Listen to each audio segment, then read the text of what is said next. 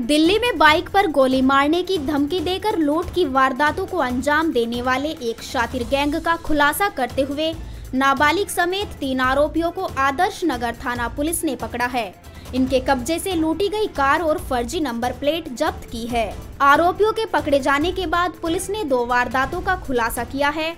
Police उपायुक्त विजयंता आर्या ने बताया कि एक कार, बाइक सवार बदमाशों ने गोली मारने की धमकी देकर लूट ली थी, जिस पर आदर्श नगर पुलिस ने मामला दर्ज किया और वारदात की जगह के आसपास लगे सीसीटीवी कैमरों को खंगाला गया, जिसमें लूटी हुई कार, भोपुरा गाजियाबाद स्थित पेट्रोल पंप पर दिखाई दी और जाँच टीम ने नाबालिग को पकड़ लिया, जिसकी निशानदेही पर उनके दो साथी प्रदीप और मुनेन्द्र उर्फ़ सोनू को भी गिरफ़्तार कर लिया गया। पकड़े गए आरोपी तीनों दोस्त है और जल्द पैसा कमाने के लिए कार लूटने लगे थे।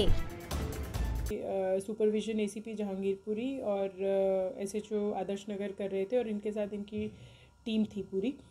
तो उसमें तफ्तीश के दौरान जब मोटरसाइकिल की थरो सर्च करी गई, जब सीसीटीवी फुटेजेस की सर्च करी गई तो उससे कुछ सीसीटीवी फुटेज हमें लोनी बॉर्डर की तरफ़ के एक पेट्रोल पंप से मिले।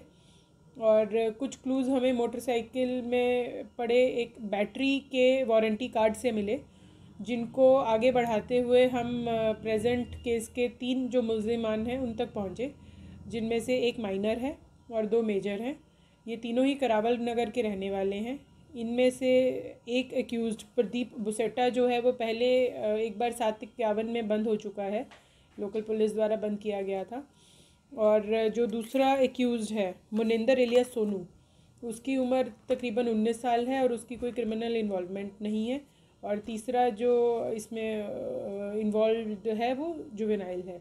इन्होंने इंटेरोगेशन के दौरान ये बताया कि इन्होंने गाड़ी छीनने के बाद उसमें पेट्रोल वगैरह डलवा के इसको अपने घर के ही नज़दीकी एक पब्लिक लोकेशन पे पार्क किया हुआ था।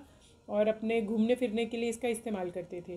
जो मोटरसाइकिल इन्होंने वारदात में यूज़ करी, वो मोटरसाइकिल भी सब्ज़ी मंडी थाने से 2019 में चोरी की पाई गई।